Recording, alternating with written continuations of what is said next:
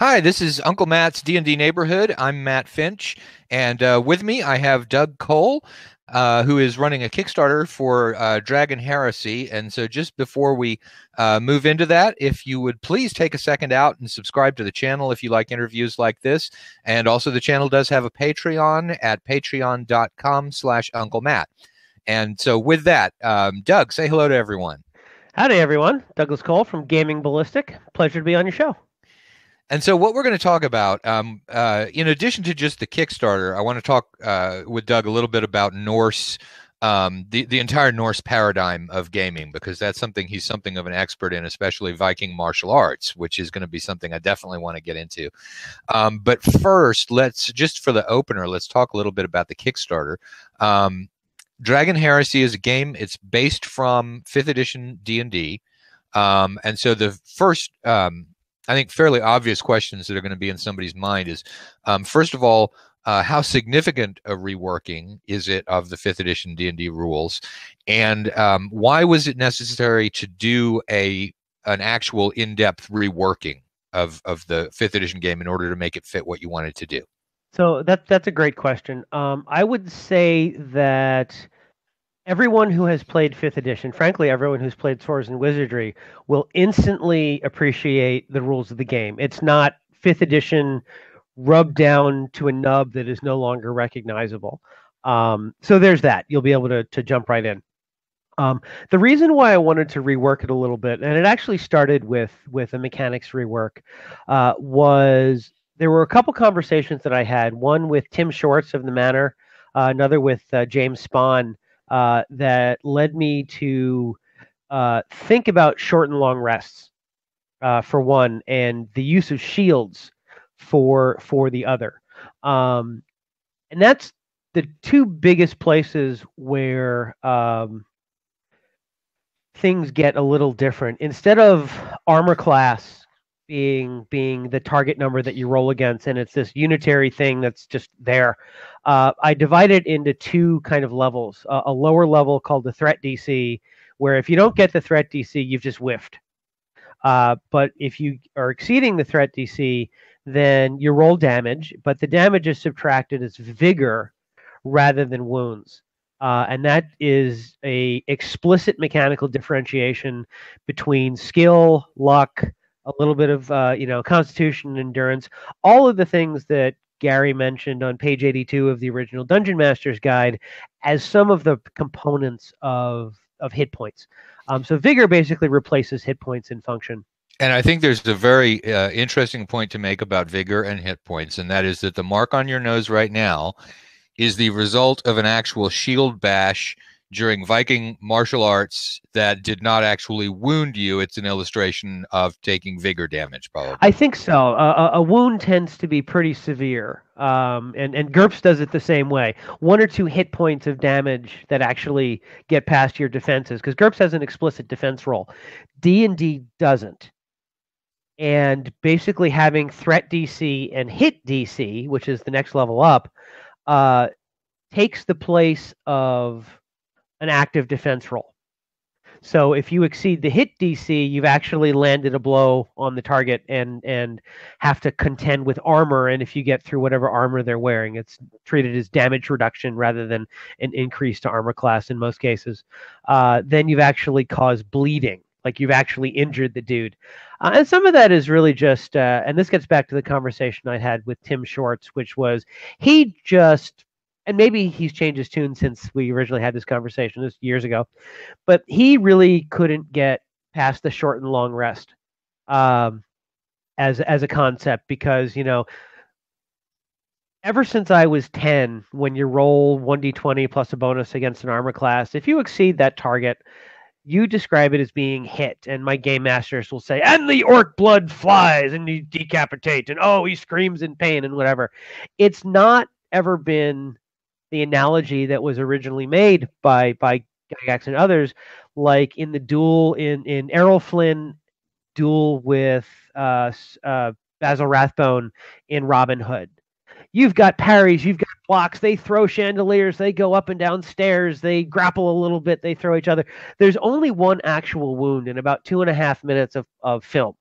uh, and that's the one that kills Sir Guy of Gisborne. Spoilers. Um, and then he clutches his stomach and falls off the parapet, and he's clearly dead. And what I think that's supposed to be is hit points, hit points, hit points, hit points, hit points, hit points, zero hit points or lower, and then you're out. Um, but I've never played it that way. I've never had it played that way. If you roll to hit, you're assumed to hit. And I just wanted to differentiate that a little bit. Um, and to to make it so that when you're actually wounded, there are tangible game mechanical consequences that will impact how you play. Uh, there's this infinite number of varieties of jokes. I've got one hit point. I'm still going. Right, you're full cap. You know, you've got 212 hit points. You've been worn down to one, and you're still full capability. Um, you know, and they're funny. It's fine. Um, but I wanted it to be two, one of two things. I wanted it to be every now and then you just get cut, and that's a worrisome event. Um, and I wanted it uh, to to have this narrative mechanical unification for if you've lost a bunch of vigor, you can take a short rest, you can take a long rest, and and get that back. You and know, so what you're doing there is you're explicitly because the concept in fifth edition of the short rest is that the hit points that you've lost were simply exhaustion or something like that, and that's the reason that they can be recovered in between right. combats. Correct. And what you're doing here is that you're specifying sort of which hit points. I mean, a very broad brushstroke, but you're specifying which yeah, but, which yeah. hit points can be recovered um, as a result of that, as opposed to the the then effects of, of, of a bleeding type of wound. That is correct. And, you know, uh, for a while, it was going to take, if you lost, you know, if you were mortally wounded, if you were hovering around your hit point maximum, which is your constitution plus your strength bonus, uh, times the size modifier. So if you're a gargantuan dragon, you know, strength is 20, your con is 20. So you got a base of 25, and then you multiply by four. So a big old dragon may have 100 wounds. Um, but it would take six or eight weeks originally, and then that's just basically saying if you get wounded, you're out of play. So that wasn't fun. So we said, okay, you're going to get back like 10% of your hit points per day, uh, which is enough to make you want to go take a rest, but not enough to say, okay, I'm just going to roll up a new character. So that's the combat side of it. Are there yeah. other um, areas where there are differences worked into the overall system? Not many. Although I, although yes and no. S, the SRD itself doesn't allow you to copy the fluff. That's the SRD is the system reference. System reference dictionary. And what that means is basically, uh, which he can't say, but I can, is the rules of fifth edition Dungeons and Dragons. Correct. Um, so the mechanics, which cannot be copyrighted, um, are all present, and you are allowed to, let's call it what it is. You're allowed to plagiarize the heck out of them. You can take them right out of the one document, paste them in, and that's cool. It's part of the open gaming license. That's great. What I can't do is open my player's handbook and say the fighter is blah blah blah comma space period whatever. You, you can't do that. Uh, and so i had to rewrite all of that. So the archetypes are a little different. Some of the powers are a little different. Um, you know a 20th level uh, I, I, think it's a 20th level or 18th level or some really high level cleric power that's not in the intro set uh, as part of a cleric of Norther, the, the god of seafaring and, and commerce, is Losa Kraken, which means release the Kraken. So I just thought that was fun, right? You can summon a Kraken. Um, there's all kinds of crap in the game that's sort of a nod to various pop culture references because I can't not. But so that's new. But by and large, mostly the changes are in the combat mechanics. Um, I well, about, talk talk a little bit about the archetypes. What archetypes fit into Norse role playing? So the barbarian, for example, is just a berserker, uh, renamed. That's fine, but there are uh, in the big. I wrote three archetypes. There is, um, I, I think it's the the way of Lausitok, which is basically a grappling monster, a barbarian grappler. Uh, there is the way of Galdareth, which is uh, a barbarian who uses the power of his anger to fuel what are basically spells. You can't cast spells when you're raging, but you can invoke the power of runes, uh, says me. Um, and then there is the path of uh, Yarnoth, which is uh, the path of Iron Skin. So the Yarnoth is your basic barbarian. Uh, the uh, Lausatok is a grappling barbarian because barbarians make the, the best grapplers for for reasons.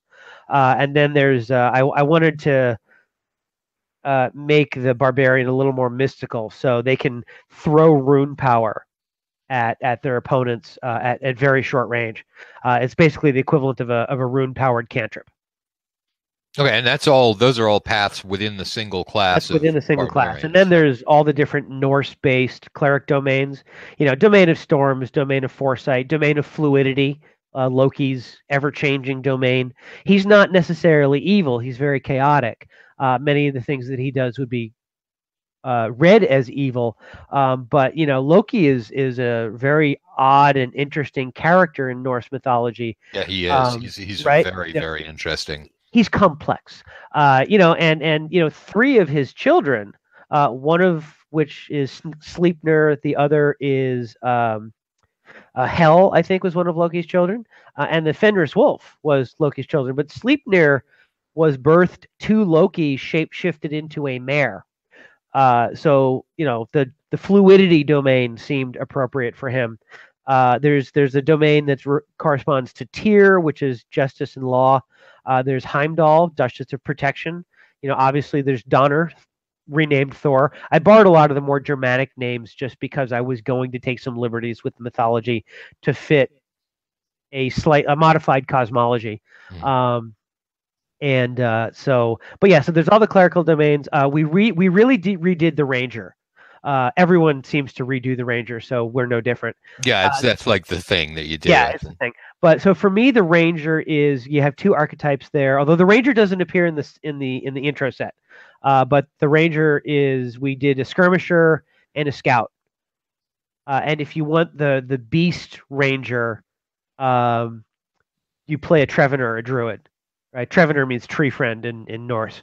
So, but again, the you know the the intro set, sort of a, a story of how we came to it. But the intro set is fighter, barbarian, wizard, cleric, sort of four classic. Uh, and you say, hey, where's the thief? Uh, well, thievery is is uh, dishonorable in in Norse culture. Uh, you could set somebody's house on fire and kill them as they come out and take their stuff. That was perfectly cool. But you couldn't sneak into their house and take the same stuff and leave them alive. That was not cool. Uh, but if you could best them in a feat of arms, whether it involves strategic trickery or setting their house on fire, uh, that was perfectly okay. Um, so the thief doesn't doesn't play into it uh, for for that reason. Okay, now let's um, talking um, specifically about the Kickstarter because you did mention uh, things being in and not in the introductory set. Um, the the pricing, what is twenty dollars for the PDF of the introductory set, and then fifty dollars for a printed copy. plus the PDF, yes. Plus the PDF. Okay. Yeah, and then there's also a hundred dollar level which is getting ridiculous play. Thank you very much. Uh, what I wanted to do was having have a rising tide lift all boats, and it starts with a print on demand black and white. And if we get to one of the stretch goals, everyone gets an offset color copy. Mm-hmm. Um, but someone says, "Hey, I'd like to give you a hundred bucks, but I'd really like that color copy." And I'm like, you know, as expensive as color POD is, if you're throwing a hundred bucks my way, that's great. Everyone understands that that's a sponsorship level to get the game made. It's right there in the text, so I'll put it on there. And I figured I'd have half a dozen people. Almost everybody who gets a print copy is electing for that level, uh, uh-huh. uh, for which I am very, very grateful. Um, and if we hit stretch goal of of offset, I'll probably give them two books instead of one.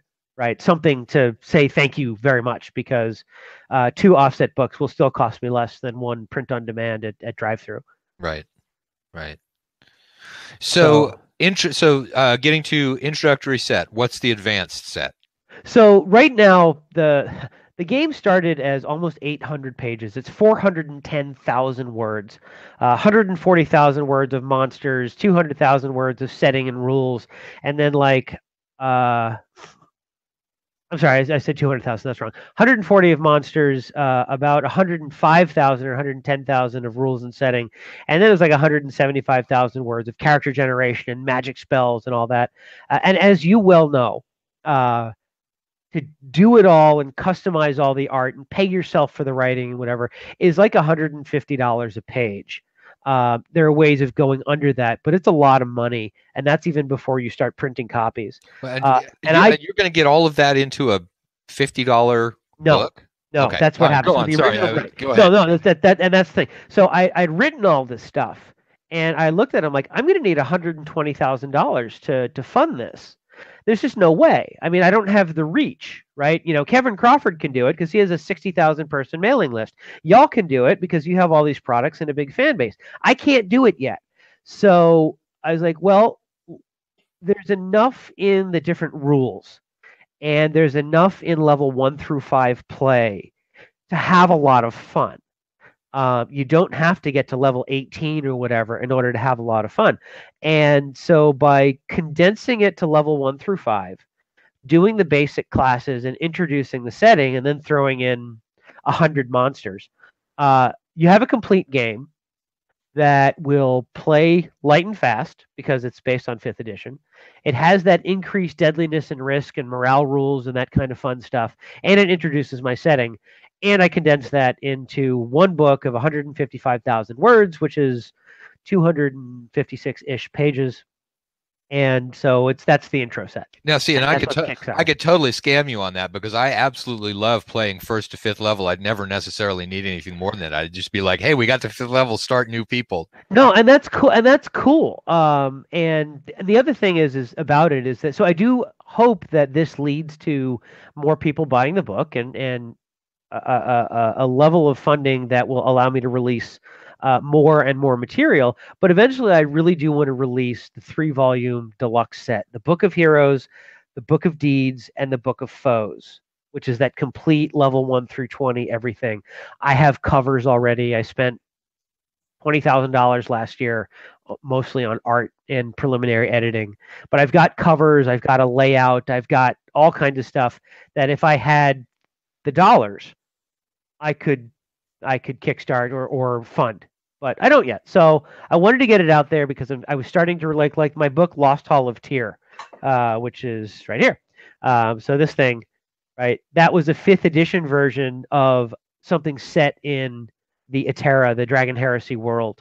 Drag Dungeon Grappling, my very first Kickstarter, came out of the original draft of Dragon Heresy, the, the rules for that. Uh-huh. They were based on an article that I'd written for uh, uh, Manor Number Eight with Tim Shorts, and Technical Grappling, which is my GURPS grappling control point rules that I was my first book that I'd ever published. So the Dragon Heresy main manuscript has spawned a lot of creativity on my part.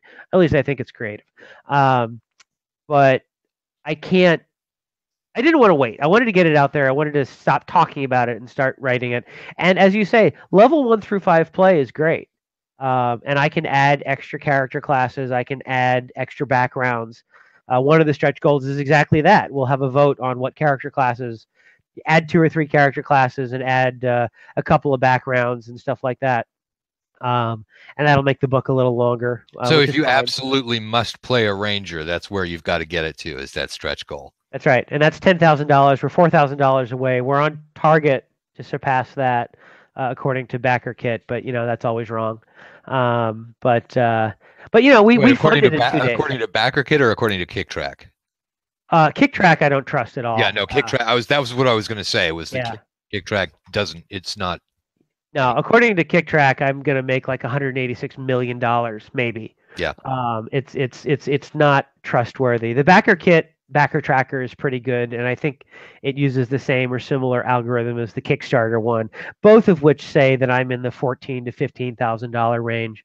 Um, but it also doesn't have an uptick at the end figured in yet. So right. we'll see. Right. we'll see. You know i mean you know it's uh it will fund. Uh, i i wrote the contract i mean it did fund. Uh, i wrote the contract for the editing yesterday so that's already started. Uh, I I, I, I pitch all of my closure dates and delivery dates as if nothing happens at all until the funds settle. But I always take action before, partly because I'm impatient, partly because when you get to a certain point, you're like, okay, I am going to get this money. I can pay for it now. So I engaged a gentleman named Vince Harper, and he started editing Uh, so that should be done right around the time that the Kickstarter either closes or or the funds transfer. The day the funds settle, which will be mid-May, every backer will get an, a copy of the PDF as it stands. It won't be final, but it will be playable. Okay. Now let's move on to um, basically because you do a lot of stuff that is you know actual experience. You know Norse. Uh, you know the the. Tell me a little bit um, about the uh, the the fighting stuff that you do with that. Sure. So when we started talking about shields, I realized that although I had 10 years of Korean martial arts experience and dabbled in a few other things, excuse me, I had never used a shield, never used it properly. And I assumed that shield use, as taught by medieval uh, practitioners, was probably different than I thought. And so I looked around for a historical European martial arts class. And as it happened, one of the three or four Viking, uh, not reenactment, but recreationist, using the actual equipment, weights, and manufacture, and the sword types and all that.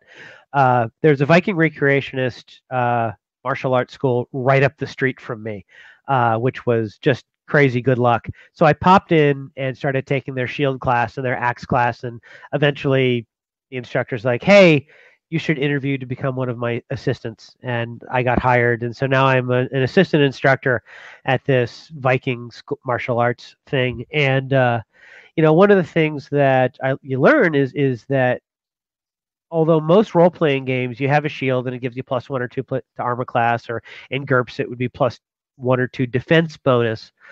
Uh, at least in the viking martial art and and in a lot of the sword and buckler type things, you're always using your shield. It's not just sitting there, it's not just held face on. You're always using your shield, and it's pointed edge on at the foe, not face on. You use it as the shield edge to to block and and deny lines and you strike with it and it's like shield shield shield shield shield shield shield shield shield sword shield shield shield shield sword right? So it, it's really inverted to the way that most games play out. Because smacking someone with a sword is exciting, but fencing with a shield is made less exciting because there's really nothing to do with it. Maybe you can do a shield bash, uh, you can do the protection fighting style where you block for somebody else, but the kind of I'm using my shield to muck you up uh, positionally is is not well represented, and that's uh, something that I truly different didn't appreciate. Um, the quality of the weapons in 700 to 1000 AD was quite poor. Uh, they still use crucible iron. I'm sorry, sorry, bloomery iron. They didn't yet melt the iron. They reduced it in place out of iron ore, and so it, you know, it's the same way that uh, the Japanese do it, which is called tamahagane, but the iron is very bad. And the reason you fold it in Damascus steel, not sorry, uh, pattern welding, and the reason you fold it in Japan is because the iron is bad.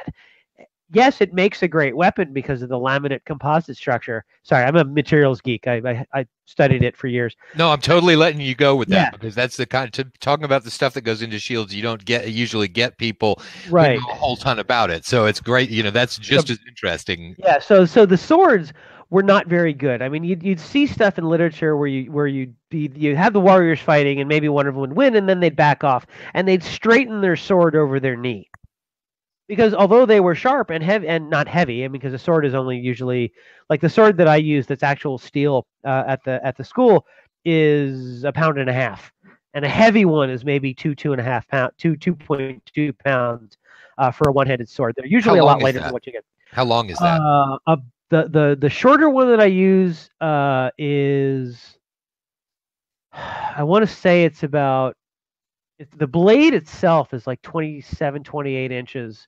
Uh, the longer ones are including the handle about a meter. They're about 36 to 39 inches long. Mm-hmm. uh, but the handle is a lot shorter than you think because the pommel actually sits in your palm, pommel, pommel. So it actually sits there, and you grip it with your three fingers, and your these two, your your thumb and your forefinger, are really only touching. And so the the, the hilt of the sword is really built to extend sit center your palm for the thrust. Because if you grip it by the handle, you're cutting off six or eight inches of reach. And because you're always at a distance, because if you get killed, you become the loot, and you want to kill the other guy and take his stuff. Um, you're really trying to not get killed. With our the school motto is "Lifinger," which means live, living, right? You you want to fight and go home. And if you die, great, die in battle and die valorously and die with weapons in your hand. But it's better to live. And if you watch people fighting with real weapons, they, they're at a distance. They're not in there for the double kill. They're not doing the crazy stuff in Taekwondo or Kendo, which is it's the Olympic stuff for the sports, where it doesn't matter if you both get hit. It only matters if you hit first. Well, that's not a good way to fight a battle. You tend to get killed real fast. Right. Right. So the reason I keep looking around is I want to see if I have it. Oh, I do have it here. Haha. So this is a, a, a Viking shield made semi-authentically, um, and you know basically this is the posture, right? It's edge on, kind of down low. My butt's down. My, my shield is forward, and that's how I'll keep it. Um, in that hinged position, I'll keep that edge on as much as I can. If you swing your sword at me and just say, "Oh, I'm just going to do that," what I'll do is I'll tilt it up and I'll catch your sword in the grain of the wood. And then I have a three foot lever arm or a 20 inch lever arm to twist, and I will take that sword right out of your hand. And a properly made Viking Wait, wait, shield- wait. Go Okay, ahead, go, yeah. go do that. Go Yeah. show me that movement because I I didn't follow it from the description. But Okay. you've got the shield right there. Yeah. So, so what will happen is I'll get way back here. Um, Okay, and so I'm what over happens? here. I'm over Yeah. here on the screen. Okay, and so I'm right right. hand. So I and take you're a gonna big swing, swing. and I'll just I'll come up this way, and I'll present the shield. Let me kneel down. I'll present the shield up this way, and if your sword cuts into the shield right here, it, it'll be it'll have a rawhide strip, and it's green wood. It's not dried. And Okay. so, and, and and the way that it's done is it's rived out of the tree. So the grain structure is perfect. It's not flat sawn. You cut it with the grain, so it's very spongy and your sword will sink maybe two inches into it, and it will get trapped there as if you hit a corkboard. okay, And then what I'll do, because I have this big circle, is I will take it and I will sweep it under this way. And then all of a sudden, your sword is going to get yanked out of your hand. and it's Like going to twist my wrist. And so I'm it's going to twist your to. wrist. And so as I'm doing that, I will reverse my sword hand and come in this way. So you're you're you're I'm block I'll block out your shield. Your sword is either disarmed or out of the way, and I've got a free shot at your neck. So the first person who does that and launches that wild blow that doesn't have an opening is going to get killed, which is why it's shield, shield, shield. Now, if you have a two-handed axe, Wait, let me let me point out ahead, one other ahead, yeah, thing that I yeah, was bet. impressed by with that because the um, one thing I'd never quite realized is that when the way you were holding that shield edge on, but just with a little bit of a of a pit of an angle to it, yes, I couldn't see any of you at all. All I could see was shield, which means I plus a one or plus I- two to armor class is just not enough. yeah I don't know where you are for one thing exactly, and for Yeah. another thing, you've got the entire length of the shield keeping somebody back instead of mm-hmm. having your arm folded in like you usually see Right. on things where you're not actually controlling the distance between you and the other guy, but you've got some control over that distance when you're using the shield out like that. So That's right. It, okay, it's so- amazing. So if if you watch the, there are two videos on my site. One is the Kickstarter thing, which is a bunch of pictures and yay Dragon Heresy, but there's another one which is Doug talking about stuff. And in the middle of that video, you know, I start by throwing an axe because who doesn't like throwing axes? Um, but my my friend and co-instructor Dale and I do some semi choreographed sparring, Uh-huh. and you'll see that we come up and almost touch shields, and then we touch shields, and we bump, and he's manipulating. And then eventually, I let him overbind me, which is he runs the edge of his shield along the outside of my shield, and causes it to rotate in my hand, opening up this side. Uh, and by doing that, he comes in around and slashes my arm, and then slashes my armor. Um, and because I'm wearing armor, I said, you know, go ahead and hit as hard as you like. Uh, he didn't because we're we do try and remain in control. But in any case, and the motto, of course, is life. So yeah, exactly. But but one of the things that you see in the corpses, the bodies that come out of these Viking-ish battlegrounds, uh, lots of leg cuts, lots of arm cuts. Uh, not so much on the torso, but they didn't wear a lot of armor, so there were some there. But there were a lot of really deep cuts to the limbs. And you can see that with that extended shield posture, that's going to be one of the targets that's that's the most out there and exposed. But everything that you just said, oh my goodness, it's edge to edge. Oh, I can't see anything was like a light bulb going off for me from a game mechanics perspective. I was like, even in GURPS, which has the reputation, some of it caused by me, of having a rule for everything. Shield, shield, shield, shield, shield, sword is not in it. You really want to buy up your thing, and if you're going to buy up one thing that gives you a defense, you buy up your sword because your parry goes up. But other than that defense bonus, the plus two to defense bonus, which is a bigger deal than plus two to armor class in fifth edition, but it doesn't really matter. The shield, shield, shield, shield, shield, shield, shield doesn't play in most games. And where the grappling system that I wrote for Dragon Heresy comes into play is you use your shield to grapple. And by scoring control points, that represents your ability to open your target because as you score more control, eventually your opponent has a hard time moving away from you because you've got them bound in or they're at disadvantage and you attack them with advantage, which means that you flip their shield or denied their ability. Uh, the other thing about Dragon Heresy is a shield gives. You remember how I said there are two levels? There's threat DC and hit DC. Yeah. A shield gives you plus four to your threat DC, which also increases your hit DC because I was about to ask you how satis- how satisfied are you with um, you know with this description of of um, sword fighting really being at least 50 maybe 75% shield fighting. How happy are you with the way that you are able to portray that in dragon heresy? If you choose to do it you can do it. I imagine and and it will work out pretty well. Uh you know you can if someone like you could you could say hey i'm going to use my you, one of the advanced rules that I'll toss in eventually is so one of the things that you can do is you can use your reaction to take a hit that exceeds your threat DC but not your hit DC. You can take a hit on your shield. And if you have a particular feat like a grapple master or a shield grappler or a shield warrior shield feat or something, I have to write it, but right. um Except but, you know, you but something. If you use your reaction, that hit instead of taking the uh, basically it'll allow you to do reaction as a control. You roll a grappling attack, and if you success like a, like an opportunity attack, if someone attacks you, you use your reaction. Uh, you effectively are making an opportunity attack to catch the guy's weapon. And if you score control points on the weapon, you've got the weapon grappled and then you can manipulate it or do a takedown on the weapon or disarm or that kind of thing. So so the the mechanical building blocks are very much there. Uh, it is of course up to the player. Okay but you haven't but you haven't for in other words you haven't forced it um into the shield combat area because just in terms of playability and so forth, that's beginning to reach something that's too complex to still be a fifth edition yes. uh, speed and approach uh, yes. game. Is that? That is correct. I, I, am not. I don't want to. I don't want to tell people how to play.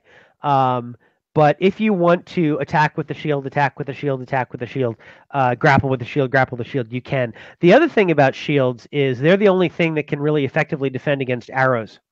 If someone shoots an arrow at you, they only have to meet your threat DC. They don't have to worry about meeting the hit DC. Anything that's coming directly at you is going to be a hit unless you employ your reaction to do a frantic defense. You accept double damage as vigor mm-hmm.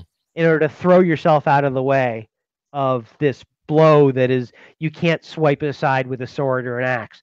So two weapon fighting versus sword and shield takes a step back because of the plus four to armor, cl- uh, plus four to threat DC, the ability to take a blow on the shield, and the ability to use threat DC, hit DC when faced with bows and arrows and other swift attacks. You can block some spells, some spells that count as as ranged attacks you can block with your shield. That's really cool. I like that. I like right? that. I like that a lot. So yeah, just just and and frankly, that would be the kind of thing where if someone said, "Hey, Doug, how would you do this in Swords and Wizardry?" I would say, if someone shoots at you with a bow, unless you have a shield, your armor class is 10 or whatever, right? Yeah. You know, um, that doesn't work as well because of the way that armor class subtraction, you know, add, but, but in any or, or like, you know, your armor class is 10 plus your dex bonus Yeah. against bows, right? Melee, you've got all this stuff and whatever, but against a bow and arrow, unless you have a shield, you don't, there's, there are things that don't happen well for you. That would be a nice, simple on off roll and shout kind of thing that you could do without reactions and all of the mechanical hooks that that fifth edition enables. But just making it so that getting behind that shield but the, the, the, just getting behind that shield is is is a good thing. The funny thing though is that that shield that i'm that i was using is actually too thick. Uh, a proper viking shield is maybe five sixteenths of an inch at the boss about eight millimeters. Uh, stays about that thick for eight nine inches and then tapers strongly and some of the ones that they found or the fragments that they found will taper down to two and a half millimeters which is like 364th or It's almost a, 332nd almost a blade. is almost a blade uh, and there's it was usually faced in stretched thin rawhide deer or cow uh, and and so and then wrapped as well and so you'd have like three millimeters of hide two three millimeters of wood. So the entire shield edge was maybe a quarter inch. And and and the main body of it, you're really talking about eight millimeters again. So you're really talking about 0.3. It's like 3.355, 0.3. You know, it's, it's it's about as thick as a nine millimeter bullet. You know, maybe down between a 30 caliber and a, and a nine millimeter bullet in thickness. So if you had like an English longbow 155, 185 pound draw. The arrows are a half inch in diameter. They weigh two tenths of a pound. These things are monsters. If you've ever seen an authentic longbow and arrow, um, these things hit with a ton of bricks. They'll go right through a shield like that. Uh, so I haven't, you know, fortunately, I'm not in that era. Right, you don't have to worry about it. I don't have to worry about it. Uh, the, the, the, the Vikings did not field mass units of archers. Uh, you had some sagas and epics uh, about people who were particularly good with bows. Uh, there was a king of Norway who was famous for his skill with the bow. Uh, you know, how goes the battle, my my liegeman? Uh, oh no, how goes the what what uh, what is what was the line? Uh, how how how grasp the battle or how you know what happens with the battle? Oh norway is slipping from your grasp. Bring me my bow. Right? And that's the that's the thing. And once the king calls for his bow it's a big deal because he's going to launch these arrows and kill everybody and whatever. Um, uh, i think that was Tryggvason's uh, or something like that. Um, but uh, in any case the, the archery is not like a big deal the way it was for the english. Um, are the the it was a we- it was it was kind of a weapon of convenience the same way that an axe was. You can use an axe for a lot. Uh, you can only use a sword for one thing. You can use a bow to feed yourself. You can use a spear to go boar hunting. Uh, a sword you kill people with. That's you don't go hunting with a sword. So you had a lot of of found weapons. The average amount of steel or iron, iron really in a Viking household was about five pounds. That was everything, including all your your your your, your so you, like a, a a knife that you would use to eat dinner with or cut something would be like an inch or two of of blade and a big wooden handle because that's all the metal you wanted to spare. Yeah. On on that, and so they did a lot of things with wood, which is one of the reasons why it's hard to find artifacts. Um, but like it can, and that's one of the reasons why having a ship was such a prestigious thing. Is imagine how much metal you needed to nail the thing together. Right. So you had to be really rich to afford the amount of iron in uh, uh, in that. The other thing that uh, you'd see a lot of is you know you didn't see a lot of coin. Vikings would wear their wealth, so they'd have these torques of gold and and, and stuff. So they literally and and, and they are a cla- as a culture they're a classic D and D party. They slept in their armor and near their weapons. You were you were always going around armed because if I irritated you and you decided, yeah, you know, this is not an insult that I'm going to let pass, you wouldn't necessarily come to try and kill me. But my third cousin twice removed is fair game. Right. And so you could be wandering around, you know, hey, Olaf, hey, Olaf, eh, right? And just kill him.